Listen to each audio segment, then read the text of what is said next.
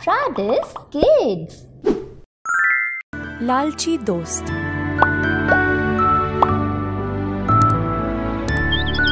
एक गाँव में रहते थे तीन दोस्त, बिल्लू, नीलू और पिंकू। तीनों की दोस्ती बड़ी पक्की थी।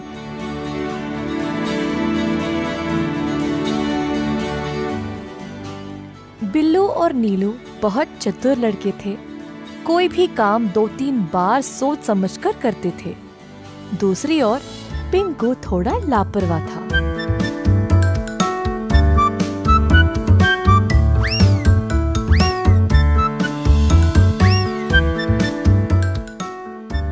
एक बार पिंकू बिल्लू और नीलू के पास आकर बोला, ओ बिल्लू, नीलू, आज हमें आम के खेत में जाना था ना, भूल गए? अरे हाँ मैं तो भूल ही गया। लेकिन उस खेत तक पहुँचने के लिए वन को पार कर जाना है ना? अरे, केवल वही नहीं, वहाँ पे बहुत सारे जंगली जानवर भी है। नहीं भाई, नहीं, मैं नहीं आ सकता। मुझे डर लगेगा।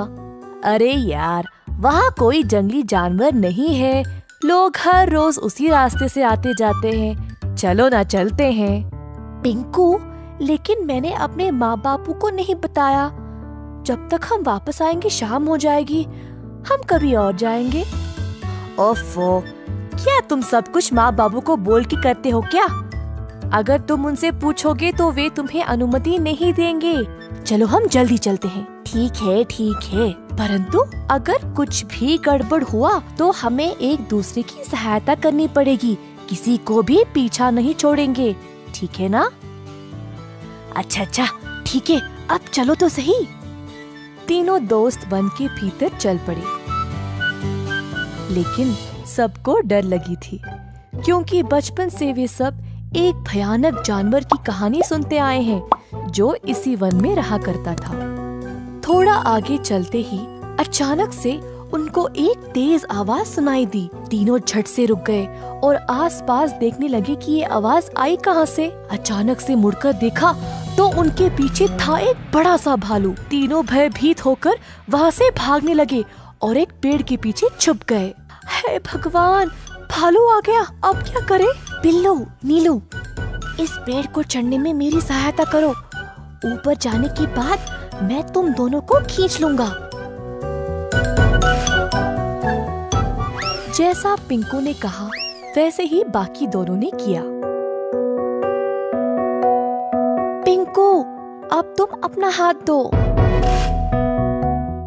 अरे अपना हाथ क्यों नहीं दे रहे हो? जल्दी भालू आ रहा है जल्दी करो। आ, वैसे यहाँ एक ही बैठ सकता है। तुम लोग कहाँ बैठोगे? बिल्लू और नीलू को?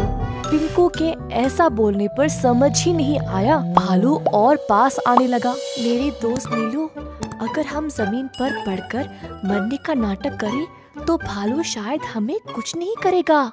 हाँ बिल्लू, आप यही करेंगे। दोनों लड़के ज़मीन पर पड़ गए और हिले बिना मरने का नाटक किया। भालू लड़कों के पास आया और उनको सूंघने लगा। दोनों को मरा हुआ समझ के भालू वहाँ से चला गया।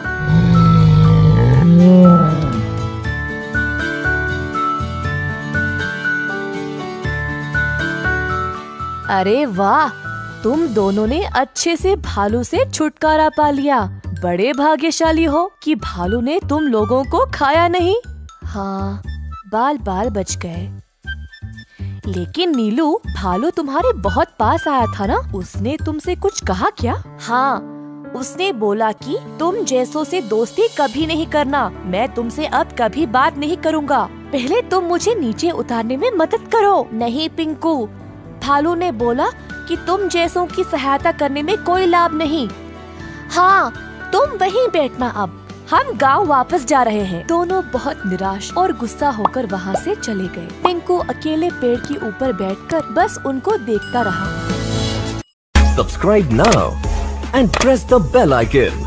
Never miss an update.